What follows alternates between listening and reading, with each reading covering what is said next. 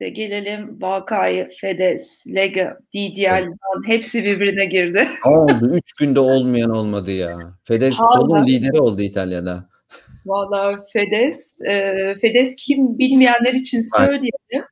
Çünkü bir şey olunca ay bilmiyorum Fedez kim diyorlar. İtalya'da yaşayanlar bile hiç duymadım o çocuğu falan diyorlar. Benim biraz garibime gidiyor açıkçası. Yani Türkiye'de olan birisi tamam Chiara Ferrani'yi bilmeyebilirsin, Itfedez'i bilmeyebilirsin. Ya İtalya'da yaşayan herhangi bir İtalyan vatandaşı Chiara Ferrani veya Fedez'i duymadıysa bence ne bileyim yani çok saf şey bir hayat yani steril e, çok naif falan böyle bir hayat yaşadı. Çünkü bir şey söyleyeyim. Bu arada gerçekten ciddi olarak söylemek lazım. Fedez'i tamam duymamış olabilirsiniz de yani Chiara Ferrani 2018 yılında mı ne İtalya'nın böyle marka şey olarak yani devlet destekli böyle bir kampanya vardı. Ay adını hatırlamıyorum. Viva İtalya mı öyle bir şeydi. Böyle evet, bir kampanya çıkardı. Bütün ana sayfalarda, gazetelerde İtalya'yı dünyaya tanıtacak e, kişilerden biri Chiara Ferrani. Yani Instagram'ınız olmayabilir. Magazinle hiç ilgilenmiyor olabilirsiniz ama kadının böyle bir marka değeri var. Yani şu anda TOTS'un yönetim kurulunda falan kadın en önemli markalardan biridir İtalyan Made in Italy markalardan. Yani neyse duymamış olabilirsiniz de söyleyelim. Chiara Ferrani'nin e, beyi e, Fedez. E, ayrıca bir rap şarkıcısı. E, sesi e, çok kötü ama yani böyle bir şey. Nasıl derler? E, magazin e, şeyi kişisi falan. Süperstar. Tarkan yani. gibi. Süperstar. Ya Tarkan'ın sesi en azından bir güzel falan. Ya. Bunda ne ses var ne şey var sadece böyle böyle. Hani neyse o ayrı bir konu. Neyse 1 Mayıs'ta işçi bayramı, işçi günü. Ee, bayram hani işçiler artık bayram yapacak haldeler mi bilmiyorum ama e, bir konserde e, işte sansüre uğradığını söyleyeyim artık nasıl sen, sen onu şey toparlarsan ben burada görüntüleri getireceğim çünkü izninle. Şimdi Roma'da her sene 1 Mayıs'ta e, galiba Piazza del Popolo olması lazım da yanlış olmasın. E, büyük bir tane 1 Mayıs konseri yapılıyor. Yani böyle 20-25 senedir Roma'da yaşamışsanız herhalde kesin gitmişsinizdir. E, ben Roma'da yaşamama rağmen birkaç kez gittim. Böyle yüz binlerce insanın katıldığı ücretsiz ve e, devlet e, televizyon kanalı Rai'nin e, üreticiliğini, prodüksiyonunu e, üstlendiği 3 konfederal sendikanın Will Çiziel'in e, masraflarını e, ve politik e, şeyini prodüksiyonunu üstlendiği bir tane konser. Hani kortej büyük kortej Roma'da oluyor. E, Birçok kişi için Roma'da oluyor. Başkaları için başka kentlerde de oluyor. Bu bitince hava da güzel 1 Mayıs falan filan ki genellikle yağmur yağıyor 1 Mayıs'ta o zamanlar. Ama yine de yüz binlerce insan e, gidiyor o meydanı dolduruyor ve e, devasa bir tane şeyin e, üstünde sahnenin üstünde İtalya'nın e, en önemli e, güncel ve bilhassa genç müzisyenleri çıkıyor. Bir tek müzisyenler de değil bazen e, komedyenler çıkıyor bazen e, siyasi profili belli bir şekilde marke edilmiş e, aktörler de çıkıyor. Ve işte e, gündemi İtalya'nın gündemiyle alakalı politik konuşmalar yapıyorlar. Sonra konserler oluyor. Genellikle örneğin Afrika Unite gibi, e, Modern City Ramblers gibi bunun gibi e, siyasi profili belli olan e, önemli İtalyan müzik grupları çıkıyor. E, arada bir birkaç senede bir böyle büyük polemiklerin yaşandığı bir konserdir bu. Okey konsepti anlattık. Şimdi bu sene ilk defa geçen sene olmadı.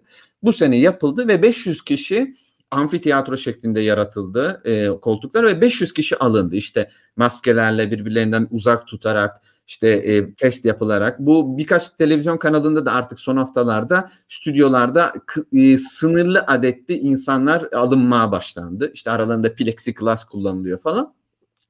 E, sahnede de e, daha önceden işte belirlenen listede e, sanatçılar çıkıyor. Yalnız Fediz'in durumu şunu öğretti bize. E, bilmeyenler için, bilenler için vardı zaten. Rai'nin e, kontrol mekanizması gibi bir tane mekanizma var ve bunun içerisinde siyasi e, bir şekilde figürü olan, rolü olan insanlar e, yer alıyor. Tabii ki Ray 1'in direktörü var, yardımcısı var, Ray 2'nin, 3'ün ana direktörü, yardımcısı falan filan sekreterler de var. Bunların amacı yani çok fazla lafı döndürmeden bir şekilde bir sansür mekanizması yaratmak.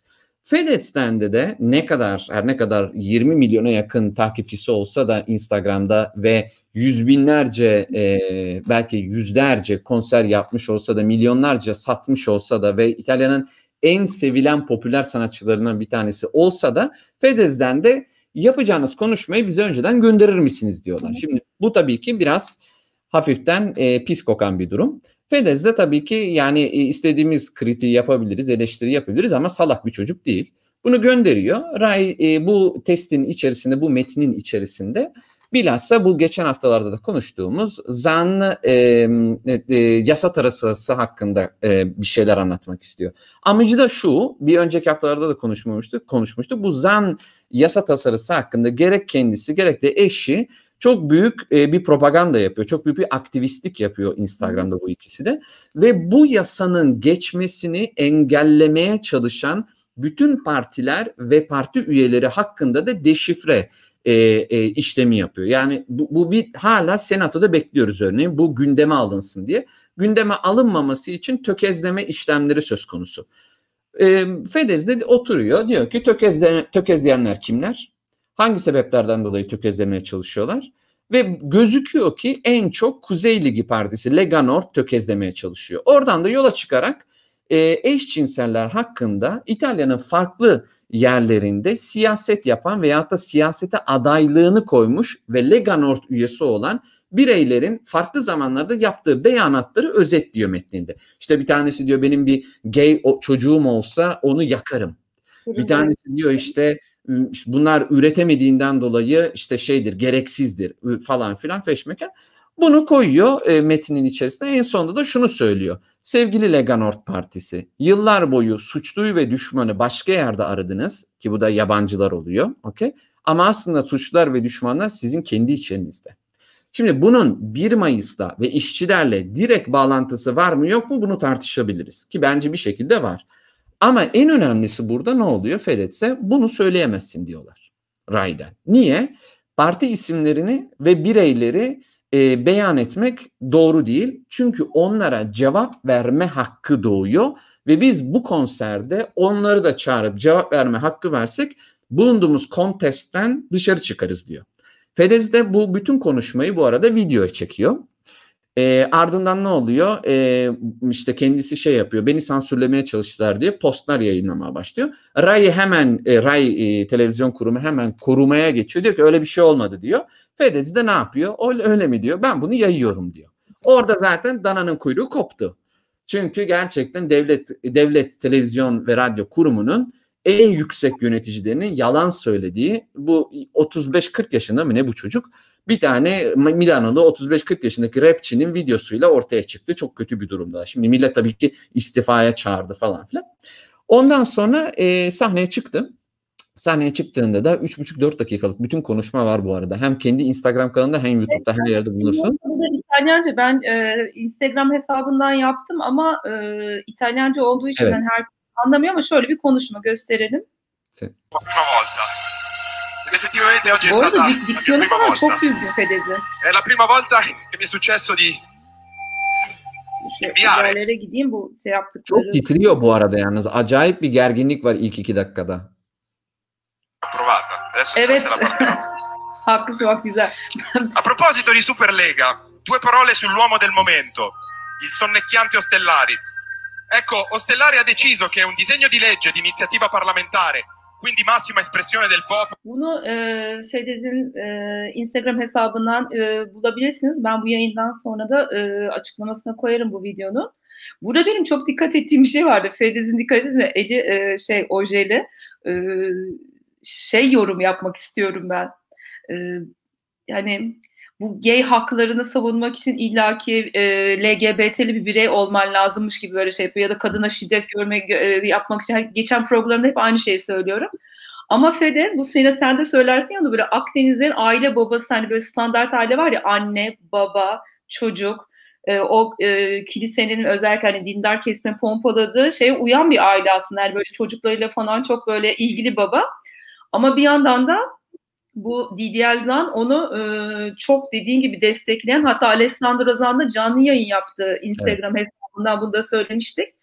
E, herkes yapıyor ama Fedez'in bunu yapması çünkü genellikle yapan e, bunu çok destekleyenler e, ya eşcinsel yani LGBT birey e, ya da böyle nasıl diyeyim daha böyle e, daha böyle şey nasıl bekar mı diyeyim bilmiyorum nasıl tam söyleyemeyeyim ama hani böyle aile yapısıyla çok göz önünde olan insanların ünlülerde çok fazla yaptığını görmüyorum ben açıkçası. Belki benim hatam da olabilir ama bu kadar ünlü bir ailenin bu kadar desteklemesi e, biraz da o herhalde rahatsız ediyor Lega'yı şey muhafazakar sağ kesimi. Bir de dediğim gibi böyle Ojehan şey de değişik de bir baba yani böyle standart aile babası da değil şey giyinmesi dövmeleri vesaire. O yüzden de herhalde biraz şey çekiyor. Yaz burada şey söylemek istiyorum. Tam e, ekranı durdurduğum yerde görüyorsunuzdur.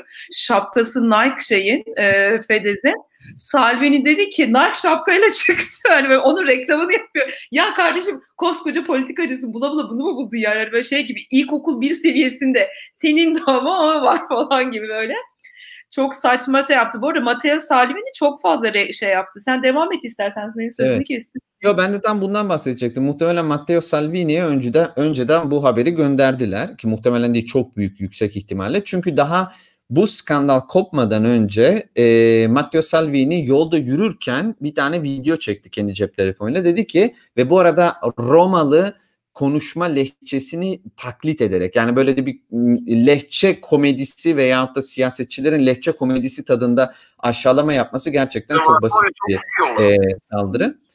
E, şey dedi birkaç saat sonra dedi bize dedi 500 bin e, euroya mal olmuş ha işte mal olmuş olan e, şey e, Roma'daki 1 Mayıs şeyi çıkacak nedir e, başlayacak konseri başlayacak belki dedi e, konuşmalar dedi sol solcu konuşmaları olacak dedi. Muhtemelen biri buna attı bu haberi. E, işin daha komiği de Fedes aynı anda cevap verdi. Dedi ki e, o ben dedi bir senedir dedi çalışmayan e, benim işçilerime e, biliyorsunuz eğlence dünyası bloke durumda bir senedir. E, para vererek dedi onu organize ettim ve ben para almadım Yalnız dedi sizin partiniz dedi bizim ülkemize 49 milyon euroya mal oldu dedi. Bu da ne demek oluyor? Ünlü bir e, skandal var ve Matteo Salvini bu konu hakkında konuşmak istemiyor. Muhtemelen e, Lega Nord e, partisi Rusya'dan 49 milyon euro geçen seçimler öncesinde hibe para alıyor ve bu paralar kendi muhasebecilerinin süper e, yaratıcı e, şeyleri muhasebe işlemleriyle yok oluyor. Ve bu konu hakkında hala bir çözülememiş bir dava var. Ve e, Matteo Salvini bunu kabul etmiyor. Ve birçok kanıt var hatta e, itiraf da var. Böyle de ilginç bir şey oldu yani siyasi. 49 milyon euro nerede? Evet işte 49 milyon euro nerede? Evet. Bakalım bizde o şey Murat. Ya bu seyrettireyim mi ister misiniz bilmiyorum. Zaten kısa sürüyor buyurun. Şuradan hemen seyrettireyim o zaman. Sono curioso di vedere se stasera il concertone del primo maggio organizzato da CGL Cisle Will, che costa peraltro circa mezzo milione di euro ai cittadini italiani tramite la RAI, ci sarà qualche artista di sinistra che farà il solito comizio di sinistra, mancando di rispetto a chi paga il canone, alle lavoratrici e ai lavoratori che non hanno colore politico. Buon primo maggio. Yani tabii ki Kuzey Ligi ve zam, birkaç sene önce kuzey güneyden ayırmak isteyen bir partinin ve e, Roma'dan aşağısına etmediği küfür kalmayan bir partinin solcu e, cümlesini Roma aksanıyla tırnak içerisinde yazması ve söylemesi gerçekten çok bence bel altı bir e, şey nedir e, hareket ama Matteo Salvini zaten oyunu kurallarına göre oynamayan ve sürekli bel altı vuran bir insan. Ee, öyle ne kadar değerli bir Termini'nin önünde yanlış anlamadıysam. Si, ben bana da Termini gibi geliyor. Hoş, arkasını daha o yani arkasını daha dolu biliyordum ben ama sağ tarafa bakarsak bayağı bir Termini orası. Bu arada bir şey daha söylemek istiyorum. Salvini'nin bu Twitter hesabına girerseniz bir sürü böyle video var. Böyle e, işte şurada çek bu gölün kenarında artık nerede çektiyse FDS şey yapıyor işte Sonra e, FEDEZ'e şeyden saldırılıyor işte her gün. Yani çok saçma sapan. Biraz da bu e, nasıl diyeyim e, her şey birbirine o kadar girdi ki kimisi diyor ki işte Lega'yı tutanlar işte 7-24 çocuklarını Instagram'da paylaşan adam 1 Mayıs mı diyor. Yok ötekisi arabası var bilmem ne. Konu o kadar böyle işte Nike şapka taktı bilmem ne. Her şey birbirine girdi. Yalnız Matteo Salvini bütün videolarında hani Türkiye'de şey var ya CHP zihniyeti bunu yapan bize CHP'de falan onun tıpatıp aynısı işte solun yönettiği rayı, işte solun e, yaptığı o, solcuların yaptığı şey. Yani o da sürekli buranın CHP'si e, ve sol. Yani sürekli solcuları böyle yani bilmem e, doğru mu anlamış. Yani ben bütün videolarında hep solu çok böyle şey yapıyor. Yani bir bir cümle içinde beş defa sol diyor manasızca. Sol sol bu, sol. Bu, bu iş tabii ki son senelerde bilhassa Erdoğan rejimiyle sonra da Trump, Bolsonaro ve zamanında daha önce Berlusconi de bunu çok yapıyordu. Buna e, Trump rejiminin bilhassa e, çalışmasında e, şey nedir? E, iletişim bilimi analizcilerinin ortaya çıkarttığı bir tane teori var. Şimdi İngilizcesi e, ne hatırlamıyorum da e, mevcut gerçekliği manipüle ederek alternatif gerçeklik yaratmak çalışması ve bunların sürekli belli konular üzerinde gerçeklik değeri olmasa da durmalarının sebebi var olmayan bir veriyi insanlara empoze etmek ve e, şey nedir e, kamu bili, kam, kamu fikrini kolektif kamu fikrini değiştirmek. Na, bu, bu İtalyanca distrazione di massa diyor. Yani kitlelerin dikkatini dağıtmak gibi bir şeye de varabiliyor ama bu işte e, İngilizcesi galiba New Future Reality olması lazım. Yani geleceği yapılandıran yeni gerçeklik kurmak gibi bir şey. Bu çok ilginç yeni bir kavram. Aslında Trump'ın e, şeyinde yönetimi sırasında bayağı bir bilimsel vücut buldu. Yalnız daha önceden bunu e, Erdoğan yapmaya başlamıştı. Bolsonaro yaptı Lula'ya karşı.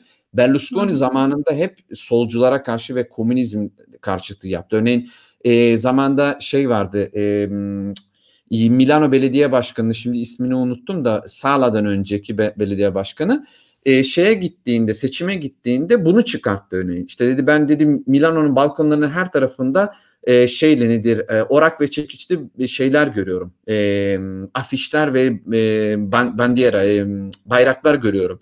Komünizm geliyor falan filan. Feşmegen merkez solcu bir tane adam yani e, böyle bir korku yaratmaya başladı ve bu korku gerçekten yani yapay gerçeklik yaratılarak e, desteklenen bir korku. Bu çok e, e, ilginç bir şey nedir? İlgisi olanları e, tavsiye ederim. Yani bu özellikle sol ama sağ kesimi çok ya mesela Türkiye'de çok dikkat ettim bu e, İstanbul Sözleşmesi kaldırılırken böyle bütün AKP'liler özellikle işte muhafazakar kesim sürekli bir LGBT bilmem LGBT falan işte şeydeki sokaktaki insana soruyorlar neredeyse terör örgütü sanıyor yani o kadar böyle bir bilinç yaratıyor ki işte o bu işte terör şey falan bu e, anladığım kadarıyla bütün e, ülkelerde kullanılan bir şey dediğim gibi yani sağ tarafının e, sağ e, kanadın kullandığı bir şey e, genellikle zaten seçmenleri de onlar ne derse inanıyor böyle bir Hı. okuyayım falan olmadığından dolayı sanırım herhalde öyle bir şey var. Fedez olayı bu arkadaşlar kısaca. Fedez bu, bu kadar... arada Fedez'le birlikte bir şey daha aldı istiyorsan onu da söyleyelim. Bu Pio ve Amadeo diye e, adlı iki tane insan müsveddesi birey var. Bunlar çok zengin komedyenler ve gençlerdi. Foggialılar bunlar.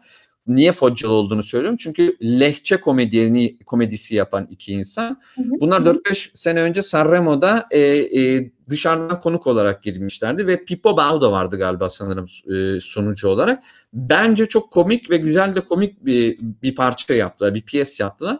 E, 3-4 haftadır yeni bir programları geldi. Galiba Serata Fantastica mı neydi ismi hatırlamıyorum. Yeni başladı bunların programları. Galiba Mediaset ekranlarından bir tanesinde olması lazım. 153-154 dakika falan sürüyor. Bayağı da uzun İtalyan ortalamasına göre. Ee, en son programlarında politically correct yani siyasi açıdan kabul edilebilirlik mi deniyor acaba Türkçe'de?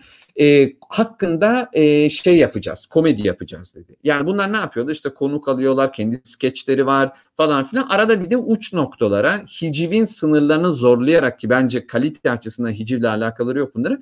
Bir şekilde e, provoke edici komedi yapmaya çalışıyorlar. Yalnız o kadar iğrenç bir program yaptılar ki bu bu arada Fedez'in meydana çıktığı çıkmasından bir gün önce 30 Nisan'da oldu bu. Ya 29 ya 30 olması lazım.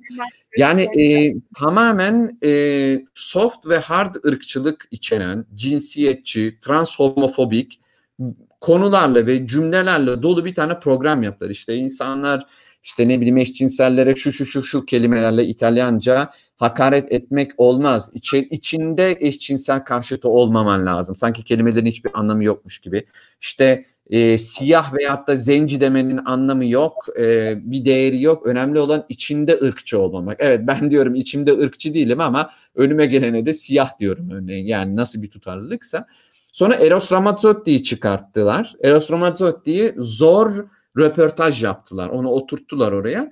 Ve bu röportaj yaparken ekrana resimler e, şey yapıyorlar, gösteriyorlar. İşte bunlarla, o gördüklerimizle alakalı zor sorular soruyor. Bunlardan bir tanesi de Eros Ramazzetti'nin ilk eşi Michel Hunziker'in poposu. Bir anda bu çıktı. Nereden tanıyorsun mu? Tanıyor musun bunu dedi. Adam da zora düştü. Ha evet Michel'in poposu galiba. Hala böyle mi diyor falan. Böyle yani e, iğrence varan böyle şeyler yaptı. Komedi olduğunu iddia. Yok iğrenç gerçekten yani çok net söyleyebilirsin. Evet. Cidden çok iğrenç. Yani bu şey e, bunu ben gördüm ama ilk hatırlattın yani hani alsak mı yayını almasak mı falan diye. Çünkü daha çok Fedes konuşuyordu ama e, şuradan görebilirsiniz. Pio ve Amadeo'ya bakın ekranda şey yapıyor. Eğer ilgileniyorsanız yani şey yapabilirsiniz. Ya bu niye önemli? Hani bu, bu insan e, müsveddelerinin konu hakkında konuşmak önemli ama İtalya'nın da nasıl bir Akdeniz ülkesi olduğu ve gerçekten bir iki gün içerisinde çok farklı gündemlere ve çok farklı beyanatlara ev, e, ev sahipliği yapabilecek bir ülke. Bence çok zengin ve güzel bir şey bu konu bu, bu, bu açıdan. Ayrıca yani gerçekten demokratik profil anlamında bakarsak hepsinin yer bulduğu, para kazanabildiği ve görünürlük sahibi olduğu bir ülke burası. Yani aslında belki Fedez'in başına gelen bir sansür bir şeydi ama Fedez çıktı sahnede söyleyeceğini söyledi. Bu insanlar hoşumuza gitmeyen şeyler söylüyorlar ama söylüyorlar. Yani görünürlükleri var. Yani tartışılabilir bir konu. Çok siyahı beyazı olmayan bir konu ama zenginlik bunlarda bence. Bu ilginç bir yani ülke. Bundan dolayı çok ilginç bir ülke İtalya. Tartışma o yüzden çok büyüdü. Mesela e, dün biz konuşurken bir arkadaşım dedi ki benim dedi e, işte LGBT olan hiçbir arkadaşım bu Fedez'in yaptığını desteklemiyor. Yani ne alaka? Fedez'e mi kaldı şey düş yapmak? Dedim ki niye ki yani hani sonuçta birisinin söylemesi lazım ve bu adam beğenin beğenmeyin dediğin gibi yani çok düzgün net konuşan ve gençlerin özellikle karı koca takip ettiği bir şeye bence hiçbir şey olmadan yani bir siyasi görüşü olmak zorunda değil insanların ama burada böyle bir haksızlık var. Yani insanlar çok sonra işte ilk geçen haftaki yayında galiba söyledi. Kızı ailesi kapı önüne koymuş eşcinsel olduğunu açıkladı diye. Ve bunların engellenmesi için yasa olarak korunması lazım. E, o yüzden böyle herkes bir şey söylüyor. İşte e, Lamborghini'si mi varmış Fedez'in? Onu olan adam niye onu söylüyor? O diyor ki sattım. Bilmem. Hani konu o kadar şey oldu ki öyle olan böyle olur. Param varsa 1 Mayıs'ı hakkında sanki konuşamazsın falan böyle. Kolay, olaylar böyle. Yani şey kesinlikle gibi. Fedez mainstream bir insan. Bunda sorunumuz yok. ee, yalnız Didier Zanda geçmesi gereken bir tane yasa ve buna kim omuz verirse bence e, iyidir. Ve ben benim çok sevdiğim canım e, canım ciğerim bir tane dernek var İtalya'da Kaos GL. Onların çok ünlü mottosu şeydi. E, eşcinsellerin e, e, e, heteroseksüellerin özgürlüğü eşcinsellerin özgür olmasından geçer diye. Bence e, Fedez bunu biraz anlamış ve hazmetmiş bir insan. Yani o da var da bilmiyorum o ama yani sonuçta insan hakları yani ne bileyim özgürlük diyorsak her şeyde özgürlük ama tabii e, bazen özgürlüğü e, hani şey dedi ya Salvi'nin dediği var bizim de özgürlüğümüz falan filan diyor ya yani tamam da bir yerde hani senin özgürlüğün başkasının özgürlüğünü kısıtlamamız lazım. Onlar da Türkiye'de de öyle söylüyorlar. Ee, biz de öyle istiyoruz. Ben de standart aile istiyorum falan diyor ama işte birbirimizin ayağına basmadan özgürlüklerimizi e, yaşamamız lazım. Zaten Zaten doğru düzgün bir hayatımız olsaydı Didier Zan'a ihtiyaç olmazdı. İhtiyaç olmazdı. Yani evet aynen. O yüzden hayvan haklarını korumanız için hayvanınız olmasına gerek yok. Bir kadın hakları için e, şiddet görmüyor olmanız lazım. Yani bir kadın olmanıza gerek yok. Erkeklerin de kadın haklarını yapmış. İşte bunların hepsi insan hakları. Böyle yine bunu da bu programda yeniledikten sonra her program bu şeyimi gösteriyor. Böyle şey var ya hani şöyle bandanamı taksaydım tam olacaktım yani. Neyse. E, annem izliyormuş. Anneye merhaba. Buradan da annemi söyleyeyim.